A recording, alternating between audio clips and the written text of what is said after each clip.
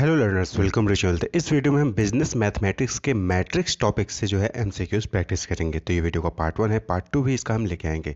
तो चलिए स्टार्ट करते हैं। तो देखिए, सबसे पहले चीज़ की याद रखिएगा कि कोई भी आपको एमसीक्यू सॉल्व करने हैं तो आपका कॉन्सेप्ट क्लियर होना चाहिए। उसके डिफिनीशंस उसके टाइप्स उसके फॉर्मूले उसकी कैरेक्टरिस्टिक्स ये आपको याद होना चाहिए, तभी आप जो है आंसर्स कर पाएँगे। और दूसरी चीज़ कि क्वेश्चन ज़रूरी नहीं है कि एग्जैक्टली जैसा यहाँ पे आपको ये एम दिख रहा है क्वेश्चन है, चार ऑप्शन है तो एग्जैक्टली ऐसा आ जाए। आपको क्वेश्चंस को समझना है और उसका एग्जैक्ट आंसर याद रखना है, क्योंकि ऑप्शंस जो बाकी जो गलत ऑप्शन है, वो चेंज कर दिए जा सकते हैं। यहाँ पे सपोज़ करिए कि जो करेक्ट ऑप्शन है, वो ऑप्शन ए है तो बाकी तीन ऑप्शन जो यहाँ पे जो हमने लिखे, जो नहीं, कि यही तीन ऑप्शन एक्जैक्टली वहाँ पर भी आएँगे। तो इसलिए आपको जो राइट आंसर है, उसको याद करना होगा, उसको समझना होगा कि हाँ यही राइट आंसर है। बाकी कई भी आंसर जो होंगे, वो गलत होंगे। तो अगर आपको राइट आंसर पता होगा तो ही आप जो है करेक्ट ऑप्शन चूज़ कर पाएँगे। तो ये आप इस भरोसे नहीं रहिएगा कि एग्जैक्ट यही क्वेश्चन आ जाएगा एग्जैक्ट यही आ भी सकता है एग्जैक्ट यही नहीं भी आएगा। तो लेकिन करेक्ट आंसर आपको पता होगा तो अगर कोई दूसरा ऑप्शन भी आ जाएगा तो करेक्ट ऑप्शन आपको पता होगा तो आप उसको सही से टिक कर पाएँगे। तो चलिए स्टार्ट करते हैं। तो पहला क्वेश्चन है collection of data arranged into a fixed number of rows and column refers to तो देखिए, यहाँ पे क्या है कि कलेक्शन ऑफ़ डेटा यानी कि डेटा जो कि अरेंज होते हैं फिक्स नंबर ऑफ़ रोज और कॉलम में, उसको क्या कहते हैं? तो बटा बात है, ये सबसे ईजी क्वेश्चन है, उसको कहते हैं ऑप्शन ए मैट्रिक्स उसको ज्योमेट्री मैक्स में बिज़नेस में उसको क्या कहते हैं? ऑप्शन ए मैट्रिक्स और अगर यही प्लूरल सेंस में होता है कि अब मैट्रिक्स ऐसे डिनोट करते हैं क्या है? कलेक्शन ऑफ़ डेटा है। One one three three four three four three four ये क्या है? कलेक्शन ऑफ़ डेटा है। अब ये क्या है? अरेंज है रो और कॉलम में। One one one three four three three three four row हो गया। वहीं पे one three three one four three one three four ये क्या हो गया? कॉलम हो गया। ठीक है किसमें अरेंज है? कॉलम और रो में। तो इस टाइप का जब भी आपके पास सामने आ जाए कलेक्शन ऑफ़ डेटा तो समझ जाएगी क्या है वो? मैट्रिक्स है। और जब मैट्रिक्स बहुत सारे होते हैं तो उसको क्या कहते हैं? मैट्रिसेस कहते हैं। प्लूरल फॉर्म में उसको मैट्रिसेस कहते हैं। ओके नेक्स्ट क्वेश्चन देखेंगे। Each number that make up matrix is called यानी कि जो आपने भी देखा था कि उस पर जो नंबर्स थे one one one three four three three four वो नंबर नंबर क्या कहलाते हैं? Option A row option B column option C inverse matrix option D element of matrix तो each number that makes up matrix यानी कि वो सारे number जिनका यूज़ करके मैट्रिक्स बनता है, उसको कहते हैं option D element of matrix यानी कि one one one three four three three three four अगर हम इनको इंडिविजुअली बात करें तो ये क्या है? एलिमेंट है किसके? मैट्रिक्स के. और इन्हीं को जब हम रो कॉलम में अरेंज करते हैं तो क्या बन जाता है? मैट्रिक्स बन जाता है. ओके तो एलिमेंट ऑफ़ मैट्रिक्स यानी कि one one three three four ये सब ईच नंबर जो होते हैं, वो एलिमेंट ऑफ़ मैट्रिक्स मैट्रिक्स कहलाते हैं। नेक्स्ट है elements of matrix are have specific location identified by their तो जो एलिमेंट ऑफ़ मैट्रिक्स होते हैं, यानी कि जो भी डिजिट्स थे, वो कौन से, उनका एक स्पेसिफिक लोकेशन होता है, उसको, उनके लोकेशन को कैसे आइडेंटिफाई किया जा सकता है? रेस्पेक्टिव रो यानी कि जो रो जिस रो में है, उससे आइडेंटिफाई करोगे। रेस्पेक्टिव कॉलम, जिस कॉलम है, उससे आइडेंटिफाई करोगे या फिर रेस्पेक्टिव रो एंड कॉलम जिस यहाँ पे respective and row and column है, यहाँ पे रेस्पेक्टिव रो एंड कॉलम है ऑप्शन में तो रेस्पेक्टिव रो एंड कॉलम उससे आइडेंटिफाई करोगे या फिर option D none of this तो देखिए मैट्रिक्स में जिस भी एलिमेंट का पोजिशन किसी भी एलिमेंट का पोजिशन आपको आइडेंटिफाई करना है तो उसके रो नंबर और कॉलम नंबर से आइडेंटिफाई किया जाता है। तो ऑप्शन सी होगा respective row and column number ठीक है? नेक्स्ट है the matrix is an arrangement of numbers in तो जो मैट्रिक्स होता है, वो अरेंजमेंट ऑफ़ नंबर्स होता है किसमें? तो जैसा कि अभी बताया रो एंड कॉलम में। तो यहाँ पे क्या हो जाएगा correct option option A M rows and N columns तो एम रोज और एन कॉलम्स में अरेंजमेंट को शो करता है कौन? Matrix in the given matrix one three three is तो यहाँ पे जो मैट्रिक्स दिया गया है, यहाँ पे देखिए आपको बताना है कि वन थ्री थ्री यानी ये जो वन थ्री थ्री की वैल्यूज़ है, जो सीरीज़ है, वो क्या है? रो वन है कॉलम वन है कॉलम टू है रो टू है। तो वन थ्री थ्री जो मैट्रिक्स में शो कर रहा है, वो क्या है? वो रो वन है, वो रो वन कहलाता है। इसी तरीके से अगर वन वन वन आपसे पूछा जाए तो वो क्या हो जाता है? कॉलम तो रो हमेशा क्या होता है? हॉर्जेंटली होता है कॉलम क्या होता है? वर्टिकल लाइन में होता है। In the given matrix three three four as तो अब थ्री थ्री फोर है, कि सबसे लास्ट वाला, देखिए तो थ्री थ्री फोर वो क्या हो जाएगा? तो बट अभी से अभी जैसे बताया क्या वो? Three three four column three column one one one one हो गया तो column two three four three हो गया column three three three four हो जाएगा तो करेक्ट ऑप्शन क्या जाएगा? Option C column three represent by number N तो देखिए कॉलम वन क्या होता है? देखिए वर्टिकल में वर्टिकल में क्या होता है? कॉलम और क्या कहते हैं कि हॉरिजॉन्टल में क्या होता है? रो होता है। तो ये आपको याद रखना है कि रो की बात हो रही है कि कॉलम की बात हो रही है तो कॉलम कौन सा है? रो कौन सा ये आपको पूछा जा सकता है। नेक्स्ट है elements of a matrix in a given matrix set is represent by तो जो एलिमेंट्स ऑफ़ मैट्रिक्स होते हैं, किसी भी मैट्रिक्स में, उसको कैसे रिप्रेजेंट करते हैं? Option A A M N option B A N M option C A R C या फिर ऑप्शन डी नन तो आपने पढ़ा होगा मैट्रिक्स में कि एलिमेंट्स ऑफ़ मैट्रिक्स को कैसे शो करते हैं? ए एम एन यानी कि रोज एंड कॉलम तो करेक्ट ऑप्शन ऑप्शन ए हो जाएगा। नेक्स्ट है when the number of rows and the number of column of a matrix are equal the matrix is तो जब नंबर ऑफ़ रोज और नंबर ऑफ़ कॉलम जब किसी भी मैट्रिक्स से इक्वल होता है, यानी कि m is equal to N तो उस मैट्रिक्स को हम क्या कहते हैं? स्क्वायर मैट्रिक्स अब यहाँ पे टाइप ऑफ़ मैट्रिक्स के क्वेश्चन है। Square matrix row matrix column matrix या फिर नन ऑफ़ दिस तो जब किसी भी मैट्रिक्स में नंबर ऑफ़ रोज वो जो है, वो इक्वल हो जाते हैं नंबर ऑफ़ कॉलम यानी कि three rows three column two rows two column तो उसको हम क्या कहते हैं? ऑप्शन ए स्क्वायर मैट्रिक्स इस तरीके से देखिए। तो यहाँ पे देखिए थ्री रोज हैं और थ्री कॉलम है। One column row one row two row three column one column two column three यहाँ पे M is equal to N तो क्या हो जाएगा ये? स्क्वायर मैट्रिक्स कहलाता है। नेक्स्ट है क्वेश्चन आपका if there is only one column in a matrix it is called अगर किसी मैट्रिक्स में सिर्फ़ एक कॉलम है सिर्फ़ एक कॉलम है तो उस मैट्रिक्स को हम क्या कहेंगे? Row matrix column matrix square matrix rectangular matrix तो इजी क्वेश्चन है बट ऑब्वियस बात है, जब एक ही कॉलम है तो उसको हम क्या कहेंगे? कॉलम मैट्रिक्स तो ये कॉलम मैट्रिक्स वन थ्री यानी कि क्या हो जाएगा? ये वर्टिकल लाइन में हो जाता है तो कॉलम मैट्रिक्स कहलाएगा। सिर्फ़ एक ही कॉलम में रो है ही नहीं इसमें. नेक्स्ट है if a matrix has four rows and three column then the size will be denoted by तो कोई किसी भी मैट्रिक्स में चार रो हैं और तीन कॉलम है तो साइज़ कैसे डिनोट करेंगे? तो देखिए फॉर्मूला क्या था? A M N A M N यानी पहले रोज आएगा फिर क्या आएगा आपका कॉलम। तो रो इनटू कॉलम होता है, ठीक है? रो इनटू कॉलम, जो मैट्रिक्स होता है, कैसे रोज होता है? Row into column. तो यहाँ पे क्या हो जाएगा? फोर इंटू थ्री रो क्या है? फोर और कॉलम क्या है? थ्री तो करेक्ट ऑप्शन क्या हो जाएगा? Option C four into three हो जाएगा। नेक्स्ट है if the number of rows of a matrix is greater than the number of column then the matrix is called अब नंबर ऑफ़ रोज जो है वो किसी भी मैट्रिक्स का वो नंबर ऑफ़ कॉलम से ज़्यादा है। ठीक सपोज़ करिए कि फोर रो है और थ्री कॉलम है।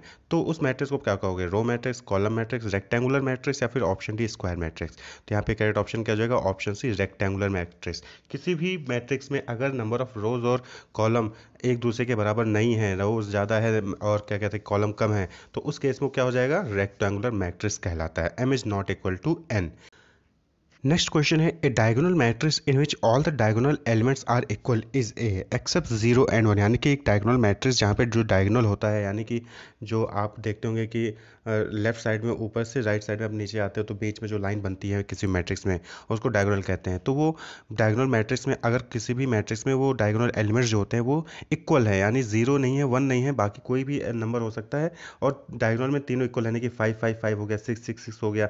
तो उस केस में उस टाइप के मैट्रिक्स को हम क्या कहते हैं? तो करेक्ट ऑप्शन क्या हो जाएगा? Option A scalar matrix column matrix unit matrix या फिर नन ऑफ़ दिस तो ऑप्शन है। ऑप्शन ए स्केलर मैट्रिक्स इस टाइप के मैट्रिक्स हम क्या कहते हैं? स्केलर मैट्रिक्स कहते हैं। यानी कि जहाँ पे डायगोनल एलिमेंट सेम होता है। यहाँ पे देखिए डायगोनल मैट्रिक्स है। ए बी सी तो ये ए बी सी जो है वो डायगोनल पाथ को शो करता है। अब वो स्केलर कब हो जाएगा? जब तीनों ही एलिमेंट उस डायगोनल पे ए ए ए हो जाएँगे। तो आप देख डायगोनल मैट्रिक्स में ए बी सी ये डायगोनल लाइन वाली यही चीज़ होती है। अगर इस तरीके से बाकी ऊपर ज़ीरो है, नीचे ज़ीरो है या फिर कोई भी दूसरा नंबर हो सकता है ए बी सी वो लाइन है तो उस डायगोनल पाथ कहते हैं। तो अगर वही ए बी सी वाली वैल्यू तीनों ही ए ए ए है या फिर तीनों ही बी बी हैं या फिर तीनों ही सी सी सी हैं तो उस केस में उस टाइप के मैट्रिक्स को हम क्या कहते हैं? स्केलर मैट्रिक्स कहते हैं। तो a diagonal matrix in which all the element of principal diagonal are same but neither zero nor unity is known as scalar matrix तो याद रखिएगा आप, ठीक है?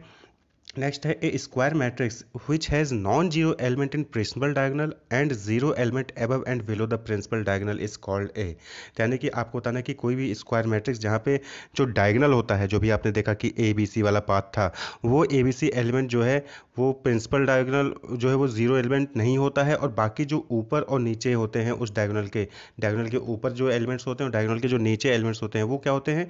ज़ीरो होते हैं। तो उस टाइप के हम स्क्वायर मैट्रिक्स को क्या कहते हैं? Diagonal matrix rectangular matrix null matrix या फिर ट्रैंगुलर मैट्रिक्स तो उस टाइप के मैट्रिक्स को हम कहते हैं डायगोनल मैट्रिक्स आप देखिए, क्या है कि वन एट फोर ये डायगोनल पाथ हो गया तो वन एट फोर ये नॉन ज़ीरो यानी कि यहाँ पे वन है एट है फोर है ज़ीरो नहीं है। लेकिन जो इसके ऊपर का पार्ट एलिमेंट है, वो ज़ीरो ज़ीरो ज़ीरो है, और वहीं पे उस डायगोनल के नीचे के जो एलिमेंट्स हैं, वो क्या है? वो भी ज़ीरो ज़ीरो ज़ीरो है। तो इस टाइप के मैट्रिक्स को क्या कहते हैं? डायगोनल मैट्रिक्स कहते हैं। नेक्स्ट है a diagonal matrix in which all the diagonal element are equal is तो फिर से ही चीज़ क्वेश्चन पूछा गया कि डायगोनल मैट्रिक्स जहाँ पे सारे डायगोनल एलिमेंट्स जो होते हैं वो इक्वल होते हैं। तो क्या होगा? तभी आपने देखा था क्या है? स्केलर मैट्रिक्स ठीक है? स्केलर मैट्रिक्स देखिए टू टू टू डायगोनल पे है थ्री थ्री है फाइव फाइव फाइव है। तो ये क्या हो जाता है? स्केलर मैट्रिक्स कहलाता है। Matrix in which the principal diagonal element are unity one is तो ऐसा मैट्रिक्स जो उसमें प्रिंसिपल डायगोनल जो होता है, वो सभी एलिमेंट्स क्या होते हैं? डायगोनल के वन वन वन होते हैं। तो उस टाइप के मैट्रिक्स को हम क्या कहते हैं? Unit matrix identity matrix scalar matrix या फिर बोथ ए एंड बी तो देखिए, ऐसा मैट्रिक्स ऐसा स्क्वायर मैट्रिक्स जहाँ पे जो प्रिंसिपल डायगोनल के एलिमेंट होते हैं वो सिर्फ़ वन वन वन हो तो उसको हम यूनिट मैट्रिक्स भी कहते हैं और कहीं कहीं पे उसको आइडेंटिटी मैट्रिक्स भी कहते हैं। तो करेक्ट ऑप्शन क्या हो जाएगा? Option D both A and B तो देखिए, वन वन डायगोनल पे क्या है? One one. Three by three का अगर आपका रो एंड कॉलम है तो वन वन वन। इस तरीके से होगा। तो इस टाइप के मैट्रिक्स को हम क्या कहते हैं? यूनिट मैट्रिक्स या फिर जो है, इसको आइडेंटिटी मैट्रिक्स कहते हैं। और इसको हम नॉर्मली आई से डिनोट करते हैं। इस टाइप के मैट्रिक्स को किससे डिनोट करते हैं? आई आई से डिनोट किया नेक्स्ट क्वेश्चन है a matrix in which all its element is equal to zero refers to यानी कोई भी ऐसी मैट्रिक्स जहाँ पे उसके जितने भी एलिमेंट्स होते हैं एलिमेंट्स ऑफ़ मैट्रिक्स वो क्या है? ज़ीरो हैं। तो उस केस उस मैट्रिक्स को हम क्या कहेंगे? Null matrix zero matrix lower triangular matrix या फिर बोथ ए एंड बी तो देखिए, किसी भी स्क्वायर मैट्रिक्स में जहाँ पे ज़ीरो ज़ीरो ज़ीरो होते हैं सारे एलिमेंट यानी कि स्क्वायर मैट्रिक्स हो, वो रेक्टेंगुलर भी हो सकता है कॉलम मैट्रिक्स होता है स्क्वायर मैट्रिक क्या कहते हैं कि रो मैट्रिक्स भी हो सकता है। तो उस केस में अगर उसके सारे एलिमेंट्स ज़ीरो हैं तो उसको हम क्या कहते हैं? Null matrix as well as zero matrix दोनों ही मैट्रिक्स कहते हैं तो both A and B option D correct option हो जाएगा। तो यहाँ पे आप देख सकते हैं क्या है कि जितने भी टाइप के मैट्रिक्स हैं, सभी में क्या है वो ज़ीरो ज़ीरो वैल्यू है एलिमेंट्स ऑफ़ मैट्रिक्स की। तो इसको कहते हैं नल मैट्रिक्स या फिर ज़ीरो मैट्रिक्स कहते हैं। A symmetric matrix is represent as तो सिमेट्रिक मैट्रिक्स को हम कैसे रिप्रेजेंट करते हैं, आपको बताना है। A M N is equal to A N M A M N A M zero या फिर ऑप्शन डी नन तो देखिए सिमेट्रिक मैट्रिक्स सिमेट्री में सेम सिमेट्री मीन्स क्या होता है? सेम यानी कि आप उसके रो और कॉलम को पोजीशन चेंज कर दोगे तो भी वो क्या होगा? एक्जैक्टली exactly जैसे पहले दिखता था, वैसे ही दिखेगा. तो बट ऑफ़ यहाँ पे क्या हो जाएगा? Great option option A A M N is equal to A N M तो सिमेट्रिक मैट्रिक्स देखिए, आप चाहे रो को कॉलम में पुट कर दीजिए कॉलम वाले वैल्यूज़ को रो में पुट कर दीजिए तो आपको वैल्यू सेम मिलेगी. देखिए वन टू सिक्स को अगर आप, जो वन टू सिक्स है रो वन है, उसके वैल्यू को आप कॉलम वन में लिखिए वन टू सिक्स तो देखिए सेम आएगा. तो इस टाइप के मैट्रिक्स को हम क्या कहते हैं? सिमेट्रिक मैट्रिक्स कहते हैं। नेक्स्ट इक्वेशन है find the value of X Y and Z from the following equation तो देखिए, नीचे इक्वेशन है, यानी दो मैट्रिसेस दिए गए हैं four three X five Y Z one five तो यहाँ पे देखिए टू इंटू टू दोनों ही मैट्रिक्स के हैं टू बाई टू के हैं। यानी कि two rows two column two rows two column दोनों इक्वेशन यानी कि दोनों मैट्रिसेस क्या हैं इक्वल हैं। अब यहाँ पे आपको एक्स जो यहाँ पे पहले वाले मैट्रिक्स में एक्स है और दूसरे वाले में वाई और जेड है, इनकी वैल्यूज़ कैलकुलेट करनी है। तो कौन सा करेक्ट वैल्यू होगा? तो देखिए, जब इक्वल होता है तो बट ऑब्वियस बात है, क्या होता है कि ये दोनों इक्वल हैं तो एक्स की वैल्यू क्या हो जाएगी? वन और वहाँ पे y की वैल्यू क्या हो जाएगी? फोर और वहाँ पे z की वैल्यू क्या हो जाएगी? थ्री ये हम अब कर सकते हैं इक्वल तो यहाँ पे करेक्ट ऑप्शन क्या हो जाएगा? Option b x is equal to 1 y is equal to 4 z is equal to 3 since matrices are equal, their corresponding elements are equal. जब मैट्रिक्स इक्वल होता है तो उनके कॉरस्पॉन्डिंग एलिमेंट्स भी क्या होंगे? इक्वल होंगे. तो आंसर क्या हो जाएगा? Four is equal to Y, three is equal to Z, X is equal to one. अब यहाँ पे देखिए, एक्स जिस पोजीशन पे है, दूसरे वाले मैट्रिक्स से आपको एक्स की जो वैल्यू होगी, उस एक्स की जो पोजीशन पे जो वैल्यू होगी, वही आप एक्स की वैल्यू मान लेंगे। इसी तरीके से वाई जो यहाँ पे दूसरे वाले मैट्रिक्स में है, वाई की वैल्यू उस वाले जिस पोजीशन पर दूसरे वाले मैट्रिक्स में जो भी वैल्यू होगी, उसको आप मान लेंगे। तो वाई की पोजीशन पर दूसरे वाले मैट्रिक्स में क्या है? फोर। जेड की पोजीशन पर दूसरे वाले मैट्रिक्स में क्या है? थ्री। तो वही वैल्यू हो जाएगी। तो करेक्ट ऑप्शन क्या होगा X is equal to one, Y is equal to four, Z is equal to three. तो इस टाइप के क्वेश्चन भी पूछा सकते हैं। Determinants of matrix A is represent as तो डिटर्मिनेंट जो होता है किसी भी मैट्रिक्स का, उसको आप कैसे रिप्रेजेंट करते हैं? ठीक है? ए फिर दूसरा वाला ए है ऑप्शन बी ऑप्शन सी के रूप में। तो कैसे आप उसको रिप्रेजेंट करते हैं? तो डिटर्मिनेंट्स ऑफ़ मैट्रिक्स को हम रिप्रेजेंट करते हैं ऑप्शन ए इस तरीके से जो है डिटर्मिनेंट्स ऑफ़ मैट्रिक्स को रिप्रेजेंट किया जाता है। नेक्स्ट है for two into two matrix the determinant of A is equal to तो टू बाई टू के मैट्रिक्स है, यानी कि ए इलेवन है, ए ट्वेल्व है, ए ट्वेंटी वन है, ए ट्वेंटी टू है तो इस डिटर्मिनेंट ऑफ़ ए कैसे रिप्रेजेंट किया जाएगा इसके लिए? A eleven into A twenty two is equal to A twenty one into A twelve, यानी फिर A eleven into A twenty two minus A twenty one into A twelve, या फिर A eleven into A twenty two plus A twenty one into A twelve, या फिर A eleven into A twenty two divided by A twenty one into A twelve. तो आपको बताना है, ये eleven A twenty one A twelve, ये क्या है? एक रोज और कॉलम है। ए इलेवन यानी कि A, row one, row column one. A one two यानी कि A, row one column two. इस तरीके से उसको रिप्रेजेंट करते हैं उसकी लोकेशन को। तो आपको एक फ़िलहाल ये बताना है कि टू बाई टू का मैट्रिक्स है तो डिटर्मिनेंट ऑफ़ ए को हम कैसे रिप्रेजेंट करेंगे? तो अगर आपने डिटर्मिनेंट का फॉर्मूला पढ़ा है तो आप आसानी से बता सकते हैं कि डिटर्मिनेंट्स ऑफ़ ए क्या हो जाएगा? The correct answer is option B. A eleven into A twenty two, यानी कि वो डायगोनल उसके जस्ट अपोजिट में जो है, ए इलेवन के अपोजिट में क्या है? ट्वेंटी टू है और ए ट्वेंटी वन के अपोजिट में क्या है? ट्वेल्व है। तो आप इन दोनों को क्रॉस मल्टीप्लाई करेंगे और फिर माइनस कर देंगे एक दूसरे से। तो A eleven into A twenty two minus A twenty one into A twelve तो ये क्या हो जाएगा? डिटर्मिनेंट ऑफ़ मैट्रिक्स ए की वैल्यू आ जाएगी। टू बाई टू के लिए ऐसे ही कैलकुलेट करते हैं। If A is a singular matrix then determinant of A is अगर ए जो है वो सिंगुलर मैट्रिक्स है ओके okay, तो जो है आपका डिटर्मिनेंट ऑफ़ ए की वैल्यू क्या होगी? Zero one any positive value या फिर एनी नेगेटिव वैल्यू तो किसी भी सिंगुलर मैट्रिक्स के लिए ए की वैल्यू जो है वो क्या होती है? डिटर्मिनेंट ऑफ़ ए क्या होगी? ज़ीरो होगी। देखिए कैसे, अब आप डिटरमिनेंट ऑफ़ ए कैलकुलेट करना जानते थे तो वन इंटू टू करेंगे, फिर वन इंटू टू करेंगे तो क्या आ जाएगी? Two minus two two minus two क्या हो जाता है? ज़ीरो हो जाता है। तो वैल्यू क्या हो जाएगी? ज़ीरो इसी तरीके से आप नॉन सिंगुलर मैट्रिक्स का देखेंगे तो A is equal to one two three two है। तो ये नॉन सिंगुलर मैट्रिक्स है तो इस केस में क्या हो जाएगा वैल्यू यहाँ पे हो जाएगा three into two minus one into two is equal to four ये क्या है? ज़ीरो नहीं है। तो ये नॉन सिंगुलर मैट्रिक्स कहलाता है। तो जिस जिस भी मैट्रिक्स का जो डिटर्मिनेंट ऑफ़ ए है, वो ज़ीरो आ जाए तो उसको हम सिंगुलर मैट्रिक्स कहते हैं। वहीं पर जिस भी मैट्रिक्स का जो डिटर्मिनेंट ऑफ़ ए है, वो ज़ीरो नहीं आए उसके अलावा कोई वैल्यू आ जाए तो उसको हम कहते हैं नॉन सिंगुलर मैट्रिक्स कहते हैं। तो यहाँ पे वन इंटू टू करेंगे, फिर थ्री इंटू टू करेंगे, और उसके बाद माइनस कर देंगे तो क्या आ जाएगी वैल्यू फोर आ जाएगी। तो ये क्या हो गया? नॉन सिंगुलर मैट्रिक्स कहलाएगा, ठीक है? नेक्स्ट क्वेश्चन है the determinant of matrix A will be zero if तो किसी भी मैट्रिक्स का डिटर्मिनेंट ज़ीरो होगा कब? ऑप्शन है an entire row is zero जब पूरा का पूरा रो ज़ीरो होगा, यानी कि उसके एलिमेंट जो होंगे वो ज़ीरो होंगे उस रो के। ऑप्शन बी है टू रोज और कॉलम आर इक्वल दो रो या फिर दो कॉलम जो है वो इक्वल होंगे।